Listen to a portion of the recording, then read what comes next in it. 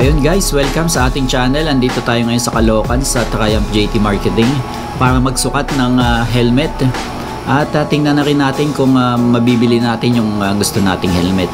At pagpasok mo pa lang guys, makikita mo na kagad yung mga uh, carbon dito ano, mga ARPA, ayan, oh, ARPA 90. Sa taas ARPA 70. Ayan, ang dami. Ayan, hanggang uh, baba yan ano. So yung buong uh, tindahan dito guys, first time nating nakarating is puro uh, HJC. At syempre, dumiretso tayo sa uh, helmet na gusto natin na matagal na nating pangarap ano. Ito yung ARPA 11 Carbon. Ayan, Lodi, Carbon, Lodi. Ayan. So size uh, me, uh, size large to guys ano, pero oh, para sa akin na uh, okay naman na yung size nito. Siyempre, titingnan natin sarili natin sa salamin. Medyo may maluwag ng konti sabi ng mga staff pero para sa akin is uh, approved na to no? may konting galaw ng konti Ayan. so okay pa rin para sa akin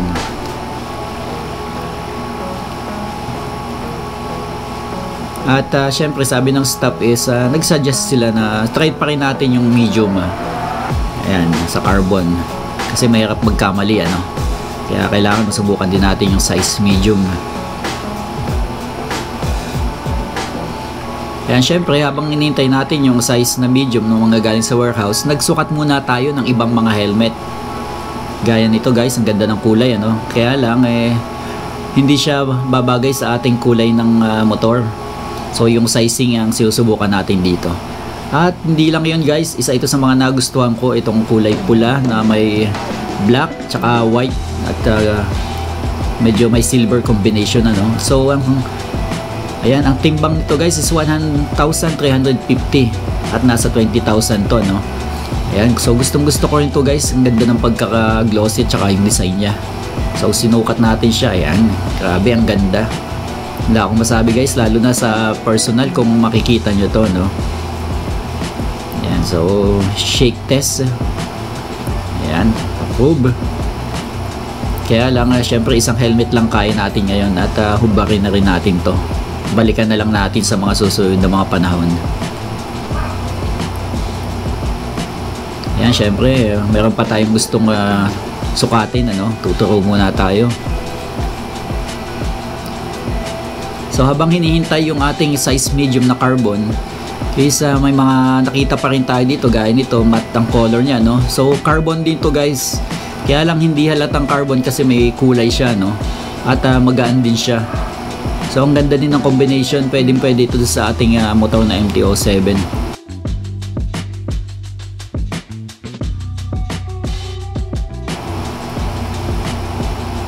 Ayan, ito yung isang nagustuhan natin guys.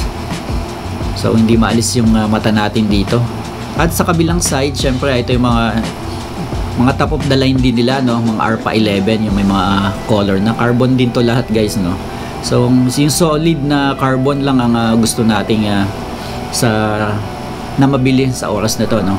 So, ayan, may mga carnage dito, mga ARPA 11 din. Ayan, sa baba, ayan, marami pa rin, guys. So, ARPA 70 dito sa parte dito. Hanggang uh, baba, grabe, ang daming kulay na pagpipilian, guys, ano, tsaka size. Yung pambili lang ang uh, wala tayo, ano, para uh, makabili tayo ng um, hindi lang sana isa no? Pero okay na yung isa. Dahil yung presyo guys medyo nakakalula ano? So ito yung unang uh, uh, bet ko sanang bilhin kaya lang walang size medium nito. Small lang yung natitira guys. So may konting uh, difference do sa solid na carbon ano? May gray siya. Uh, oh. So hindi siya uh, isang kulay lang. May konting aesthetic na color design. Ito yung ARPA 70 guys. Pero yung likod niya eh, iba do sa ARPA 11 mas solid yung uh, build ng ARPA 11 so try nating sukat to pero maliit talaga guys. Hindi natin pinilit dahil size small. Ayan nagmukha tayong tanga dyan. So balik natin to at hanap tayo ng iba. Ito guys.